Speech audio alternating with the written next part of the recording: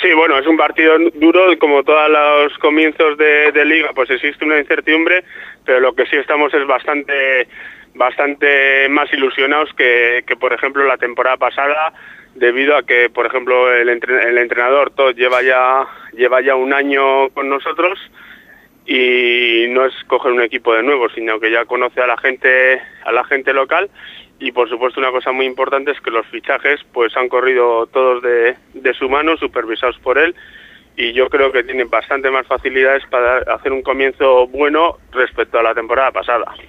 Un comienzo bueno respecto a la pasada campaña y, la incertidumbre también por saber cómo está el rival, ¿no? Porque hemos visto el Atlético Madrid, como hemos dicho anteriormente, antes era el CRC, son equipos que cambian mucho de un año a otro. Yo no sé si tenéis alguna referencia.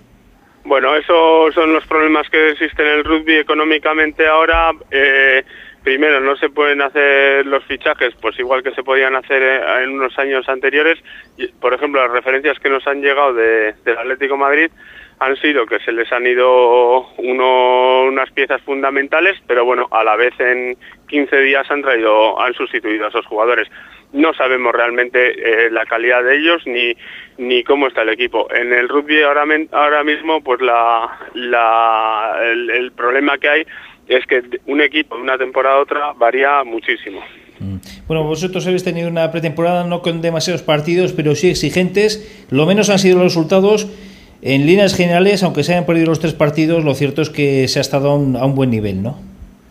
Bueno, para mí la pretemporada ha sido perfecta. El primer partido que jugamos contra, contra el Independientes, eh, sabemos que es un equipo que está súper reforzado, que es un equipo que va a ir a por la liga y los partidos de, de pretemporada no son unos partidos normales. Eh, nuestra nuestro plan de juego por ejemplo no fue patear en ese partido se jugó toda la mano o sea no es un partido que puede ser un partido de competición sino es un partido de preparación. Y, la verdad es que el resultado fue muy bueno. El Morlans por ejemplo fue un equipo que fue muy superior a, nosotros en la en la primera mitad de la primera parte un equipo defensivamente muy puesto y, y en ataque pues pues de, de verdad tenía un ataque súper continuo y muy, muy vertical y bueno, pero nosotros también empezamos a remontarles el partido. La calidad del equipo era superior a, la nuestra, pero bueno, le hicimos frente bien. Y el último partido de Guernica lo, lo, mismo. Nosotros fuimos a jugar un partido de preparación, de pretemporada, y el Guernica la verdad que fue a, a, a jugar un partido de competición. Nosotros no tiramos ninguna vez a palos, podíamos haber tirado en algún golpe a palos, lo, esas jugadas salieron a touch para jugarla y, el Guernica incluso tiró a palos pues porque iba a ganar el partido, quería ganar el partido. Eh, equipos con los que os habéis medido que quizás en alguna cosa se pueden semejar a Ético Madrid, sobre todo en ese juego en delantera, ¿no? que, es lo que caracterizaba también a, los rojiblancos la temporada pasada. Sí, eh, bueno, eh, el Guernica, por ejemplo, yo le vi una delantera mm, potente, un 8 bueno.